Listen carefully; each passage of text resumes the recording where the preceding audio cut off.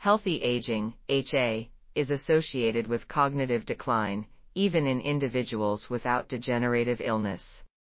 Functional magnetic resonance imaging, fMRI, has been used to link this decline with altered brain function patterns. Recent studies have shown that healthy old adults present higher activity levels in some brain regions during cognitive tasks, but also disrupted connectivity. The default mode network appears as a highly compromised system in HA.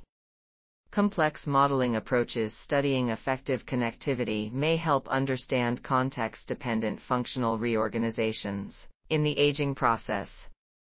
This article was authored by Roser Sala-Llonch, David E. Bartrés-Faz, and Carmi E. Junk. We are RTCL.TV, links in the description below.